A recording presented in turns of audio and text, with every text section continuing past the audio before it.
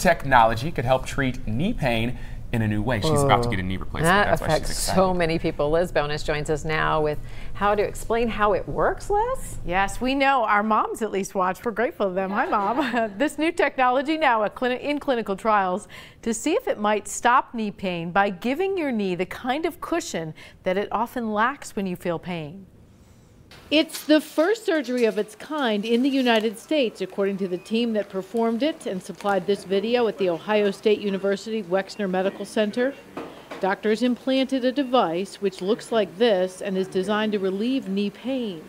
It is targeted to those who have arthritis pain in the knees and who want to delay a knee replacement.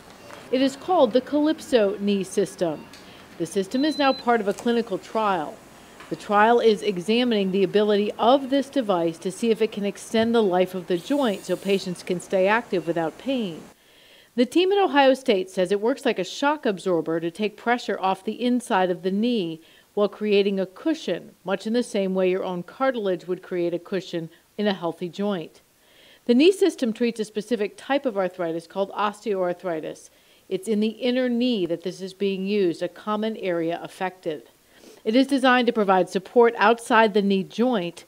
It does not require a change to the knee's anatomy or need any tissue removed from the knee for its use. So that's cool stuff. That's like, you know, science fiction. Yeah. So what it would do is it would buy you some time, maybe a long time, depending on what the trial shows. And it essentially, it, it, it, it forces your knee, you know how there's, it hits and it hurts. Yeah. And it forces it to have some shock absorption. Wow. Isn't that cool? Yeah. yeah. We were just talking, so many people these days are having knee and hip replacements. I, we're living longer, we're active, yeah. we mm-hmm. get injured younger, we're warriors, we don't stop. And yeah. yeah, that's the wave of the future, which is great. Medicine like this can make a big difference. Yeah. Indeed. All right, we'll be back.